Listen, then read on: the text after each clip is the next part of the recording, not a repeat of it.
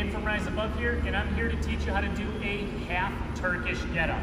So go ahead, lie flat on that back. You're gonna go ahead, extend one leg out, other leg um, is gonna stay up. Whatever knee is up towards the sky, it's gonna be the hand that's gonna be in the sky as well. So I'm gonna go ahead and rotate ever so slightly for you. So once you're in this position, what you're gonna go ahead and do is you're going to put your um, your other arm out to the side. I like to put my hand up, you can you know, all the way onto the floor.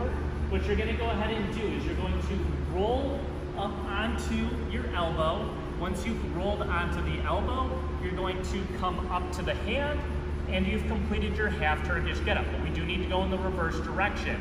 So what you're gonna go ahead and do, gently coming back down to the elbow, and then you're going to control yourself on that way back way to that ground. Where you can go ahead, you could switch sides at that point and do the opposite side, or you could stay on the same side and again, roll onto that elbow, elbow up to hand, hand back down to elbow, elbow back all the way down. And that's